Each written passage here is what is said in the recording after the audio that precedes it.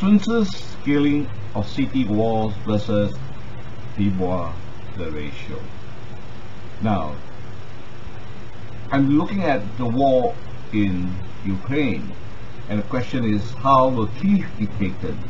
And from this case study, right, you work out the ratio. Now, Sun Tzu didn't give any ratio of the numbers of the ratio that would be appropriate for scaling city walls.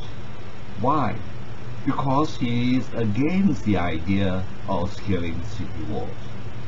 Then of course you'll find that based on US estimates in, in Iraq, it says it will take about hundred thousand to clear a city defended by a mere five thousand.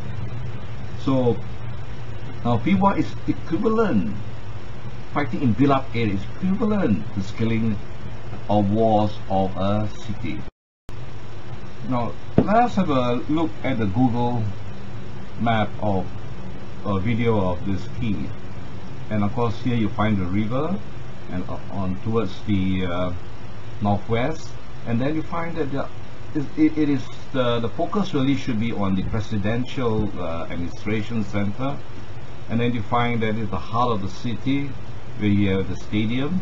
And then you have you know a lot of built-up areas and of course you have beautiful museums there including the university. So in such a place like in a city like Kiev and already there's been Molotov cocktail being prepared for this for this tough war. So maybe the Iraq experience of 20 to 1 may not be sufficient if if the if the Ukrainian uh, residents take up and, and prepare to defend Kiev to, to, to fight to the end. Let's hope there will not be too much too high a casualty.